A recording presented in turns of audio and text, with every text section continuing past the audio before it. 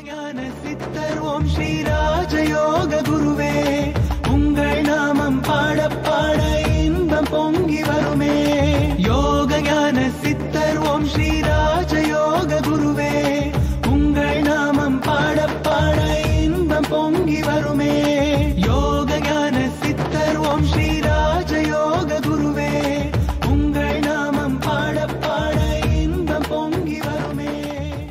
சரி மனம் என்று பார்க்கும்போது மனதை வந்து விளக்கத்திற்காக இரண்டாக பிரித்து பிரிக்கப்படுகிறது. ஒன்று வெளிமனம் இன்னொன்று ஆழ்மனம்.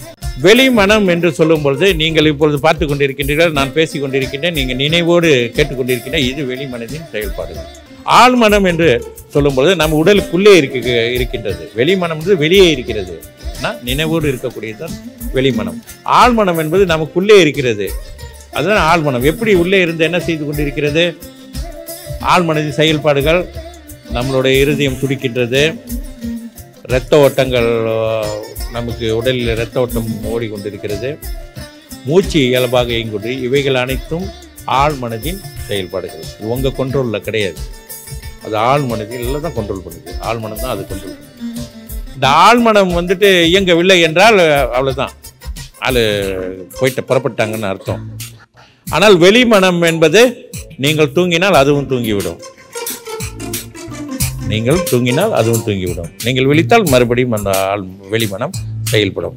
ஆனால் ஆழ்மனம் தூங்காது. அப்படி தூங்கிடுச்சுன்னா நான் சொன்னது மாதிரி தான் நடக்கும். அதுபோல இந்த ஆழ்மனதும் என்பது மிகவும் சக்தி வாய்ந்தது. இந்த ஆள் மனதின் ஏற்படக்கூடிய கருத்து பதிவுகள் தான் வாழ்க்கை முழுவதுமே மனிதரை ஆட்டி படைக்கின்றது. அதற்கு மேல் நடக்கக்கூடிய விஷயங்கள்லாம் அது இறைவன் செயல்னு சொல்கிறோம் கிரகங்கள் நிலை என்று சொல்கின்றோம். கிரகத்தின் பாதிப்புகள் அல்லது இறைவனோட செயல்னால இப்படி ஆயிடுச்சுன்னு பலவாறாக நம்ம பேசலாம். ஆனால் முதலில் நாம் வந்து சரியான நிலையில் இருக்கின்றோமா?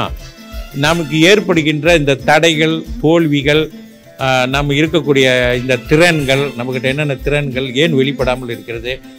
நம்ம திறமையாக இருக்க முடியவில்லை. நம்மக்கிட்ட இருக்கக்கூடிய பலகீனத்திற்கு என்ன காரணம் என்றெல்லாம் சிந்தித்து பார்த்தால் நம்மளுடைய மனம் முக்கிய வைக்கிறது அங்கே. நம் மனதில் இருக்கக்கூடிய கருத்து பதிவுகள் தான் முக்கிய காரணமாக இருக்கிறது. இந்த மாதிரி மனம் என்று சொல்லும் பொழுது நான் சொல்றேன் இரண்டாக விளக்கத்திற்காக இரண்டாக பிரிக்கிறது. மனத்தத்துவம் என்றால் வேற ஒன்றும் இல்லை மனதின் உண்மை. மனம் எப்படி செயல்படுகிறது? அதான் மன தத்துவம் என்றால் உண்மை. வேற ஒன்றுமே கிடையாது. மனம் எப்படி செயல்படுகிறது? இது வந்து விஞ்ஞானபூர்வமாக நிரூபித்த ஒரு உண்மை. மனம் இப்படித்தானே. யோக சாஸ்திரங்களிலும் இது சொல்லப்பட்டிருக்கிறது. மனதை மனதின் பதிவுகள் வந்து ஏற்படக்கூடிய பதிவுகள் மிகப்பெரிய பாதிப்புகளை உருவாக்கும் என்று சொல்லப்படுகிறது.